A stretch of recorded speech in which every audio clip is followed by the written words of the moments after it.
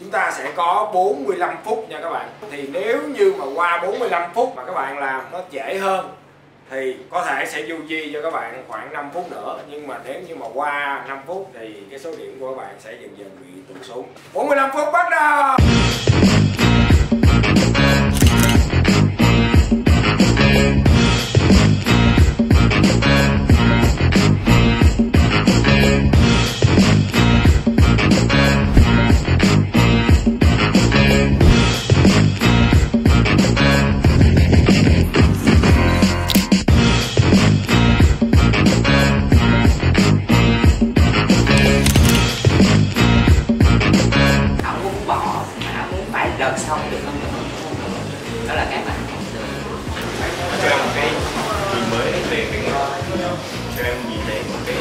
Khác về cái cắt tóc thực sự là bao lớn em xin cảm ơn vừa qua giúp đỡ em ba tháng qua. Em cảm ơn tất cả mọi người.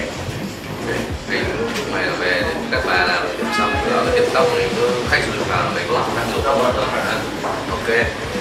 Chung là nếu như mà có điều kiện á thì mình ờ, nên ờ, cứ mạnh chạy cắt tóc cho mọi người nghe tất cả mọi người cười kia đó biết xuống mình tiền không mình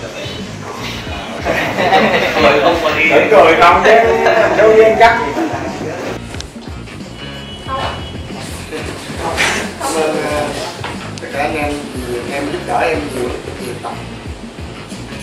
Biết nói ờ,